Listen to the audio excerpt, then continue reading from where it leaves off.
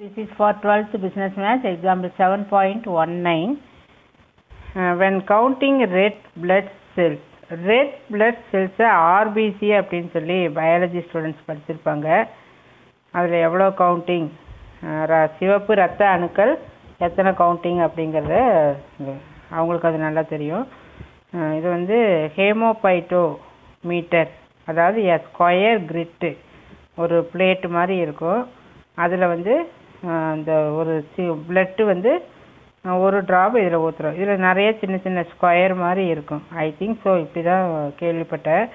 அப்போ அந்த பிளட்டு சின்ன ட்ராப் இதில் ஊற்றுறோன்னா இது எல்லாத்துலேயும் போய் இதில் அப்படியே பரவிடும் ஸோ சின்ன சின்ன ஸ்கொயர் ஸ்கொயராக இருக்கும். ஸோ அந்த பிளட்டில் ஒவ்வொரு சின்ன ஸ்கொயர் பிளேட்டில் இருக்கக்கூடிய இதை வந்து என்ன சொல்லியிருக்குன்னா எரித்ரோசைட்ஸ் எரித்ரோசைட்ஸ் அதாவது அந்த சிவப்பு ரத்த அணுக்கள்னு சொல்லமில்ல ஆர்பிசி அப்படிங்கிறது. அது வந்து அது ஒரு சிங்கிள் ஸ்கொயரில் எயிட் இருக்குது நம்ம கண்டுபிடிக்க வேண்டியது ப்ராபபிலிட்டி ஆஃப் எக்ஸாக்ட்லி ஃபைவ் இருக்கிற மாதிரி. இங்கே ஃபைவ்னு இருக்குது இருக்குது ஒரு ஸ்கொயர் பிட்டில் இங்கே வந்து ஒரு ஸ்கொயர் பிட்டில் ஆவரேஜாக நிறைய ஸ்கொயர் பிட் இருக்கும். அந்த ஸ்கொயர் பிட்டு ஆவரேஜ்னால் என்ன? Total of all divided by number of டேர்ம்ஸ்னு சொல்லுவோம்ல அந்த மாதிரி. மொத்தம் எட்டு இருக்குது ஆவரேஜாக ஒரு ஒரு ஸ்கொயர் பிட்டில் எட்டு இருக்குது இது இந்த ஆர்பிசி அப்படிங்கிறது சிவப்பு ரத்த அணுக்கள் வந்து இருக்குது அப்போ ஃபைவ் இருக்கணும் அப்படின்னா அதனுடைய ப்ராபபிலிட்டி என்ன? இது எனக்கு தெரிஞ்சு இப்படி தான் சரியாக தெரியல இவ்வளோ தான் எனக்கு தெரியும். அப்படின்னு நம்ம கண்டுபிடிக்கணும். ஸோ இப்போ இங்கே பாய்சான் டிஸ்ட்ரிபியூஷன் இங்கே எங்கேயாவது கொடுத்துருக்கா? இல்லை. நம்ம ஒவ்வொரு சம்லேயும் அதான் ஒரி பண்ணணும். டைரெக்டாக அவங்களே கொடுத்துட்டா நோ நீடு அதர்வைஸ் நம்ம சம்மெல்லாம் ரிவிஷனில் போட்டு போட்டு பார்ப்பீங்க. So definitely you come to know that easily but இங்கே ஒரு கீவேர்டு இருக்குது பாரு. ஆவரேஜ் அப்படின்னு இருக்கு. So be happy for that ஏன்னா இந்த இந்த கீவேர்டை வச்சு தான் இதெல்லாம் கண்டுபிடிக்கணும். இது எந்த மாதிரி சம் அப்படின்னு. ஸோ இந்த இடத்துல கீவேர்டு இங்கே எழுதியிருக்கிறேன் பாரு. ஆவரேஜ் அப்படிங்கிறது ஒரு கீவேர்டு ஆவரேஜ்னா என்ன? மீன் ஆவரேஜ் மீன் எல்லாம் ஒன்று தான் மீன்னா என்ன? லேம்டா.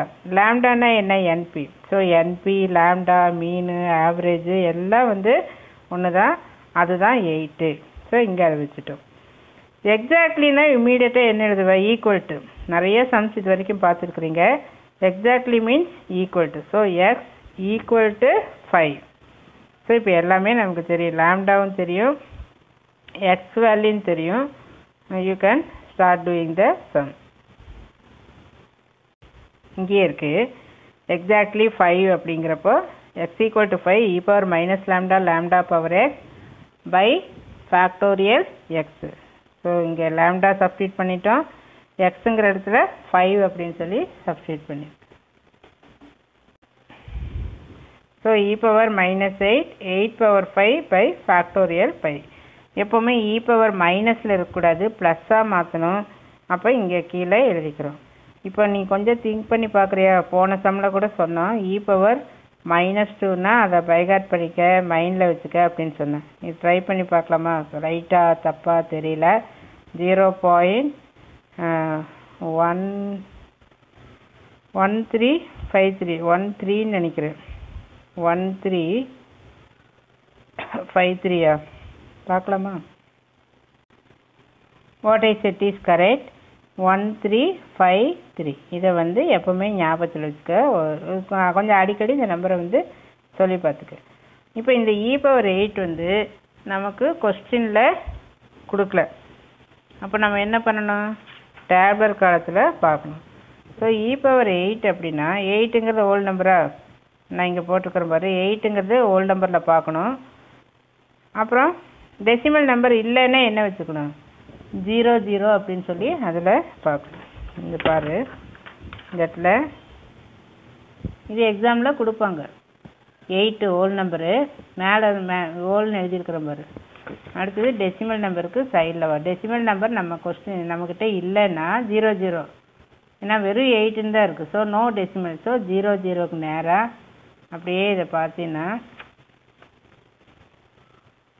இங்கே எயிட்டுக்கு நேராக பாரு. Two nine eight zero point நிறைய வருது இல்லையா? அதை அப்படியே கம்ப்ளீட்டாக இங்கே எழுதிட்டேன். So two nine eight zero point வருது எழுதிட்டு இது ஜஸ்ட்டு கால்குலேட்டரில் டிவைட் பண்ணி அப்புறம் இதெல்லாம் யூஸ்வல் கால்குலேட்டர் டிவிஷன் போட்டிங்கன்னா இந்த ஆன்சர் கிடைக்கும்.